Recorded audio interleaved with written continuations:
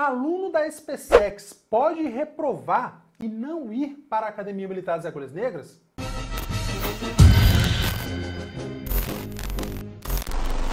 Então, para que você entenda essa questão, você tem que entender como que funciona a formação do oficial combatente de carreira. Então, ele inicia na SPSEX e ali o aluno ele vai passar cerca de ele vai passar um ano ali para se formar e em seguida ele vai ingressar na Academia Militar das Agulhas Negras. Então, durante toda essa formação, o aluno, o cadete, né, o aluno da SpaceX, o cadete da MAN, ele vai ter dois tipos de formações, tá? Ele vai ter a sua formação militar, tá? De disciplinas, de prática de assuntos militares, e ele vai ter a sua, a sua formação acadêmica. Afinal de contas, essa formação, ao final da formação, o militar ele vai ter o seu diploma de nível superior, ou seja, é uma faculdade. Então ele tem também a parte acadêmica, onde ele vai estudar diversas matérias. Ele vai estudar português, oratória, inglês, espanhol, física, química, cálculo, ele vai estudar várias coisas que compõem a grade curricular do curso. Além disso, nós temos também o TAF, né? os TAFs, que são os testes de aptidão física que são realizados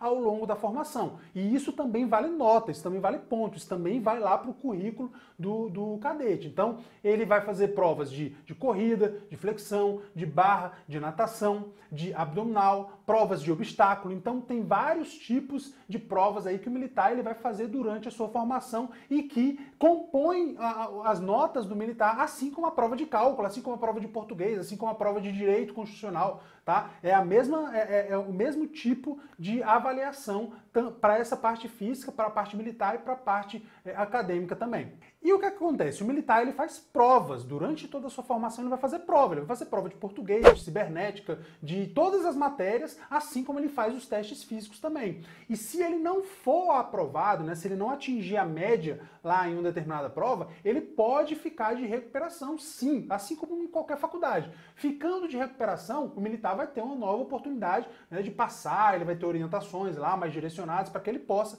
passar. Agora, existem casos que o militar ele não consegue se recuperar. Ele é reprovado realmente no ano letivo. E aí o cadete ou o aluno, ele pode sim repetir um ano, tá? O aluno da SpaceX, por exemplo, ele pode repetir um ano. E aí o que é que vai acontecer? Ele vai ser mandado embora? Nesse caso, não, ele vai repetir o ano, ele vai, como uma faculdade, como um colégio, repetir o ano no, novamente. É importante entender que o cadete, né, o aluno em formação, dentro desses cinco anos, ele só pode repetir uma vez. Então ele não pode repetir lá na SpaceX e repetir lá no terceiro ano da AMAN de novo. Não, repetiu na SpaceX, ele não pode repetir de novo, tá? Mas eu já quero deixar claro aqui para você o seguinte, que isso é bem raro de acontecer. Por quê?